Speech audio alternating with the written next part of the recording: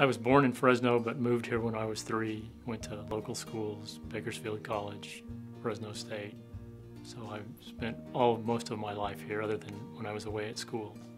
I became a doctor because I was influenced by several men that played tennis at the place I played tennis at when I was a kid. Um, they were a heart surgeon and an obstetrician and spent some time with me um, talking about their career. Went to medical school at the University of Kansas and um, did my surgery training in Fresno. But my family is all here, my brothers and sisters, both of my parents. So that was the initial draw for me to return to Bakersfield. From a very early time in my surgical career, I was treating veins. Um, in 2001, when the uh, radio frequency and laser catheters were FDA approved, I went to a meeting to learn to do that procedure. And at that meeting, I met doctors that all they did was treat venous disease.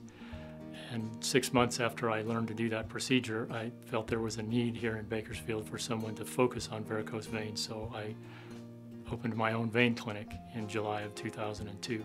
As a general surgeon, um, I had to learn all the venous anatomy and, and the surgical techniques to treat varicose veins, um, which helps now that uh, I, I have a better picture and an understanding of the anatomy that I'm treating than would someone who didn't have a surgical background.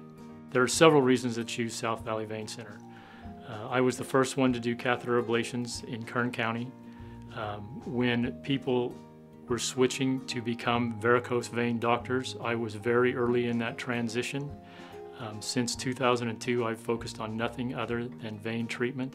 One of the things that I try very hard to do is to choose patients that I can help. Um, sometimes people have varicose veins and leg pain, and the leg pain isn't or doesn't sound like it's from varicose veins, and I may discourage them from vein treatment if I don't think it's going to help. Um, there are very small risks with catheter ablation, but there are risks nonetheless. And if I don't think I can improve the quality of your life, I don't think it's worth putting a patient at any risk whatsoever.